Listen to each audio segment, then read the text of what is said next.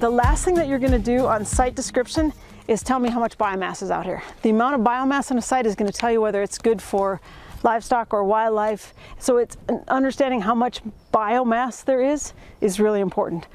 When you come to this site, you'll have three frames, one, two, three in this case. They're round frames, big round frames, and the flag on each of them will be numbered one, two, three. Your job is to look at those three frames, click carefully, and then you're gonna take kind of in your head, take a mental average of those three frames, and then you're gonna put it in one of the categories that's on the score sheet. So again, you're gonna try to look at those three frames, in your head, average them. If you wanna make some notes on and try to average them that way, you're welcome to do that and then just click one for the average of those three.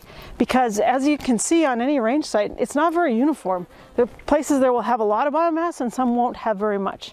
So we're going to um, take an average of those. You are also going to take and see how much biomass of shrubs there are. So first we're just going to take uh, our, our other camera and we're going to give you a close-up look of plot one plot two plot three then I'm going to clip them and we're going to find out how much biomass they actually have. And then you'll know how much you should put on this sheet.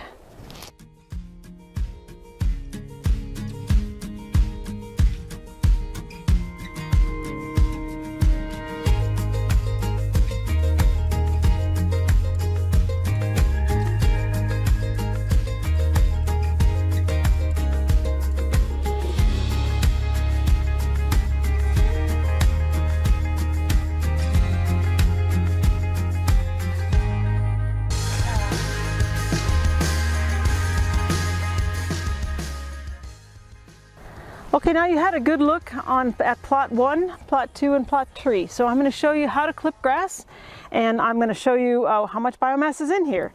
I'm going to do all the clipping and weighing, and we'll do the calculations uh, back in the lab. Uh, so first of all, there's two kinds of biomass out here. There's the herbaceous biomass. That's the stuff that is not woody. It's the stuff that will die back to the ground. So all forbs and grasses are herbaceous. Then there's the woody biomass, and in this case we have some nice antelope bitterbrush here, and that's the woody plant.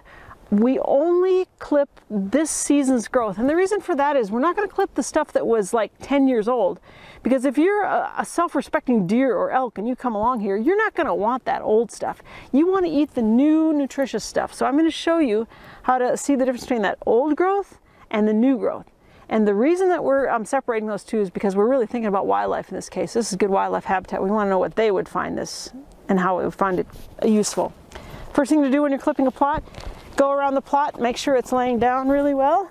And I usually do that with my clippers. And this one is pretty good. Got it pretty much laying down all the way around. There's a couple kinds of clippers. I use these big ones in most uh, um, hardware stores. You can get these smaller ones. You can even use sheep shears. I've seen people use sheep shears, but these are the kind I use. And if you do a lot of this, you're gonna wanna get some nice clippers. So let's start with herbaceous. I just kneel down on the ground and I just start clipping. And I'm just gonna clip everything that is herbaceous. I'm gonna take out last year's growth because that's also not nutritious or delicious. There we go, we got that little buckwheat gone.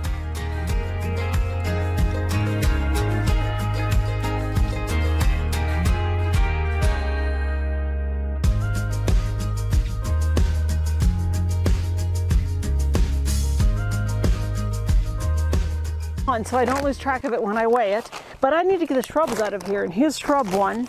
I just still have a little bit of grass here that when I get the shrubs out of the way, I'll be able to see it a little bit better. Um, you can use the shrub clippers, but my clippers are pretty uh, sharp, so I'm just going to go ahead and clip the shrubs out of here so I can see what's going on. See, some of that's really woody, and some of it's not. Here's some grass that got stuck in there, so I'm going to throw that in my grass bag just trying to separate out what is uh, grass or not. Let me show you what is this year's growth and last year's growth. So here is some woody stuff. That's definitely several years ago. And then as you go up the, the stem, it'll start to look a little younger like here. This is real light, it's real flexible, and so that is part of the new growth. Here's another stem, that's this year's stem. This is woody down here, that's a, a new stem there. Real shiny, not woody, real flexible. When you're clipping, you're going to want to take all of the, the uh, the leaves off because those were all this year and you're going to want to clip off that new those new year stems. So that's what we're looking for right now is the old growth, leave it behind, take all the leaves off and take those new stems. And there's some good examples of new stems.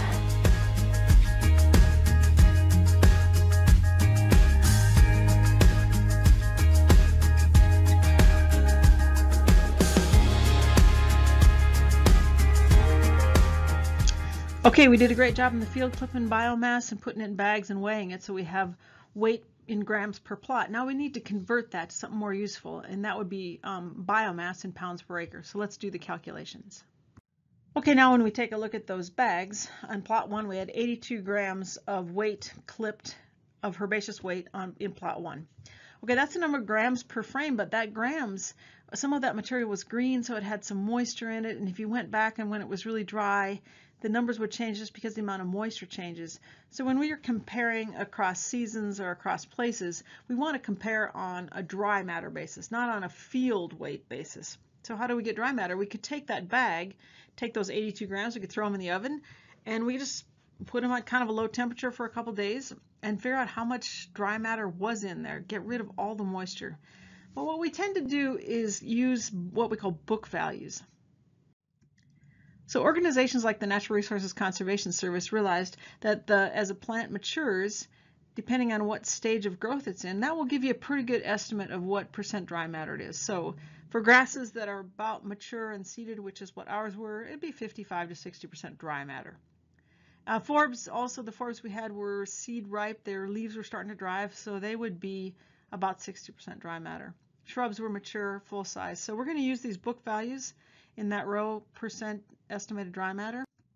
And we're going to say that herbaceous biomass in our plots was 60% dry matter and the woody plants were 50. So let's go and look at the other estimates then for plot one. So if we had 82 grams in the field times 60% dry matter, that's 49 grams of dry weight material in that frame. Now we don't usually talk about grams per plot because you'd have to know what plot, what size was before it would be very useful. So we convert grams per plot to pounds per acre because that's the term what we use when we're down at the coffee shop talking about range. We're talking about pounds per acre. So uh, grams per plot in our case times 20 gives us pounds per acre. So these plots are kind of a weird size. They're 4.8 feet round. Um, but when you take that size plot, that kind of weird size plot, and you take the grams in that size plot times 20, you'll get pounds per acre. So the, the plot is a weird size because it makes the conversion easy. Uh, and then if you multiply your grams times that conversion factor, we have 980 pounds per acre.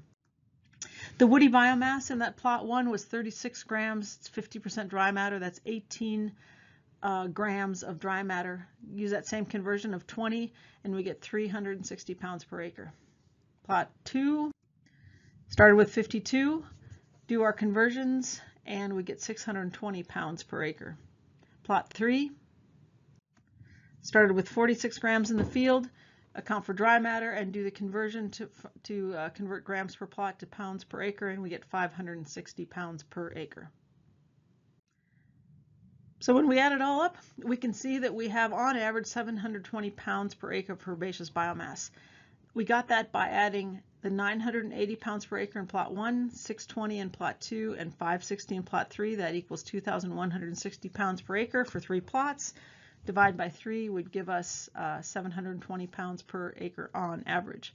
Total woody matter, we only had woody material in one plot. That was 360 um, pounds per acre divide by three because there was zero in uh, the other two, zero pounds per acre in the other two. So that'd be 120 pounds per acre of woody material on average. Now where does that go on the scorecard? Uh, well, the 720 pounds is what we had in herbaceous biomass. And if you look over on the scorecard for herbaceous biomass, you can see that is in this category of 400 to 800. So that's what we'd mark on the scorecard. The shrubs were 120 pounds, which means we'd mark this lowest level 0 to 400. So that's what it looks like on the scorecard. Now we don't do clipping in the field when we're in the contest. We do clip plots at the end of the contest to make sure we're uh, got a good estimate as a key.